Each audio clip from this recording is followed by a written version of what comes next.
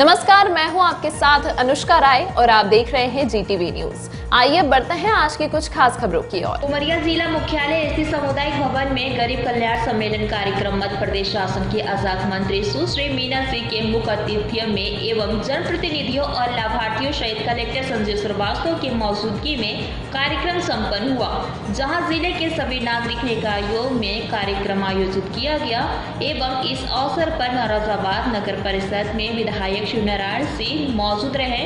देश के प्रधानमंत्री नरेंद्र मोदी के मुख्य आतिथ्य में देवभूमि हिमाचल प्रदेश में आयोजित गरीब कल्याण सम्मेलन का प्रसारण वर्चुअल के माध्यम से उमरिया ज़िले के सभी नगरीय निकायों में कार्यक्रम आयोजित किया गया। वही वर्चुअल कार्यक्रम के दौरान प्रधानमंत्री नरेंद्र मोदी ने देश के 10 करोड़ से ज़्यादा हितग्राहियों के खाते में इक्कीस करोड़ से अधिक की राशि अंतरित की गई है एवं मध्य प्रदेश के बयासी लाख किसानों के खाते में प्रधानमंत्री किसान सम्मान निधि की राशि सिंगल क्लिक के माध्यम से किसानों के खाते में राशि अंतरित की गई है।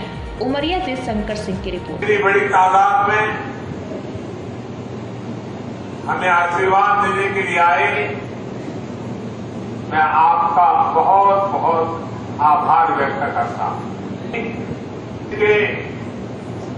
करोड़ों करोड़ किसानों को उनके खाते में पीएम किसान सम्मान निधि का पैसा ट्रांसफ़र हो गया। पैसा उनको मिल भी गया। और आज मुझे शिमला की धरती से देश के 10 करोड़ से भी ज़्यादा किसानों से खाते में पैसे पहुँचाने का सौभाग्य मिला है। वे किसान भी शिमला को याद करेंगे, हिमाचल को याद करेंगे, इस देवभूमि को याद करेंगे। मैं सभी किसान भाइयों, बहनों को भी हृदय से बहुत बहुत बधाई जब से मध्य प्रदेश में और देश में हमारी भारतीय जनता पार्टी की सरकार बनी है, लगातार गाँव गरीबों के लिए चिंता हो रही है। चाहे हमारे मध्य प्रदेश के मुख्यमंत्री आदरणीय शिवराज सिंह चौहान साहब हों। चाहे हमारे माननीय प्रधानमंत्री श्री नरेंद्र मोदी साहब हो। लगातार काम कर रहे हैं। आज हमारे गरीब भाइयों के जीवन स्तर को सुधारने की लगातार पहल हो रही है। जिन भाई बहनों के रहने के लिए घर नहीं था, आज उन भाई बहनों के खाते में घर बनाने का पैसा भेजा जा रहा है। बहुत ऐसे मेरे भाई बहन गए घर में रहने भी लगे। अपने आप में ये बहुत बड़ा काम हुआ है। जबकि मुझे याद है, कांग्रेस तो सत्तर साल लगा दिए गरीबों के घर बनाने लेकिन सत्तर साल में कांग्रेस नहीं बना पाई, साथियों। इनके नाम पर ढिढोरा पीटते रह गए अगर गाँव में हम जाके ढूंढते हैं ना कांग्रेस की पुरानी योजना पर इंदिरावास के तो गाँव में तो दीवारों का पता नहीं है। ना ईटे का पता न खबरा मलगा सत्तर साल लगा दिए इंदिरावास के घर बनाने। रता पता नहीं है साथी। और आज हमारे प्रधानमंत्री जी आपके खाते में पैसा दे रहे हैं। कि आप स्वयं पैसा निकालिए, सीमेंट खरीदिए गिट्टी खरीदिए, लोहा खरीदिए, मिस्त्री भी आप लगाइए। अगर आपके पास समय है तो आप भी उस काम में भागीदारी कर सकते हैं अपने घर बनाने के लिए। उस पैसे का मालिक मानी मोदी जी आपको बना दिए कि आप स्वयं बनाइए। और इतना अच्छा घर आज पूरे हिंदुस्तान के अंदर बनते हुए देखा जा रहा है। बहुत अद्भुत काम है। मैं तो आप सबकी ओर से यही कहना चाहती हूँ कि भगवान उनको बहुत माननीय मोदी जी को बहुत दीर्घायु जीवन प्रदान ये हमारे प्रधानमंत्री जी की सोच है गरीब किसानों को, गरीब तबके को कैसे योजनाओं का लाभ मिले। उस योजना में लगातार काम करते रहते हैं। उन्होंने आज अपने संबोधन में भी कहा, इसी प्रकार से हमको अगर सहयोग देते रहेंगे और हम अच्छा काम करेंगे और हितकारी योजना लाएँगे जिससे लोगों को ज़्यादा से ज़्यादा फ़ायदा मिले।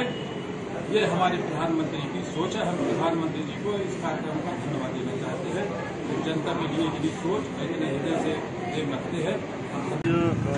दस करोड़ किसानों को देश भर में करीब 21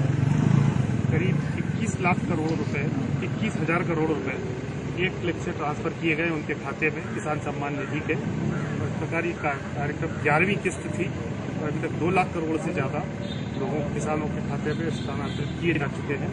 इसी अवसर पर जो बलिया में कार्यक्रम था, ये सामुदायिक भवन में कार्यक्रम आयोजित किया गया था इसमें माननीय प्रधानमंत्री जी और माननीय मुख्यमंत्री जी। सभी ने लाइव देखा। आज किसान कल्याण सम्मेलन कार्यक्रम के अंतर्गत जो कि राष्ट्रीय स्तर, राज्य स्तर और जिला स्तर पे और सभी नगरीय निकायों में मनाया गया। तो हमारे जिला मुख्यालय में भी स्थानीय कार्यक्रम किया गया, जिसमें कि माननीय मंत्री जी उपस्थित रही और साथ में जिलाधीश महोदय और सभी हमारे जनप्रतिनिधि, हमारे नगरीय क्षेत्र के सभी हितग्राही अधिकारी सभी उपस्थित रहे। इनके बीच में किसान अ, सम्मेलन किया गया पहले तो माननीय देश के प्रधानमंत्री माननीय नरेंद्र मोदी साहब का, आप सबकी ओर से उनका बहुत धन्यवाद और अभिनंदन करना चाहती हूँ। आज हिमाचल प्रदेश की राजधानी शिमला से माननीय मोदी जी गरीब कल्याण सम्मेलन को संबोधित कर रहे थे। और जो भी अलग अलग योजनाओं के माध्यम से जो भी हमारे हितग्राही भाई बहन लाभान्वित हुए हैं, खासकर उनको जोड़ा गया था, पूरे देश भर के लोग जुड़े हुए थे, जैसा कि आप सबने देखा। और अनेकों योजनाएँ चाहे वो प्रधानमंत्री आवास हो, चाहे प्रधानमंत्री उज्ज्वला योजना हो, किसान सम्मान निधि हो, जो भी योजनाएँ सरकार चला रही है उन योजनाओं के माध्यम से माननीय मोदी जी हितग्राहियों को संबोधित किए।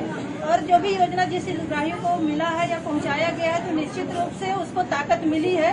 और उस ताकत के माध्यम से जो हमारा गरीब तबका जो बहुत पीछे था, आज कम से कम उसको एक विश्वास मिल रहा है कि कोई तो है जो हमारे लिए सोच रहे हैं और काम कर रहे हैं। आदरणीय नरेंद्र मोदी जी जैसे व्यक्ति आज हमारे देश के प्रधानमंत्री हैं तो वो लगातार गाँव गरीब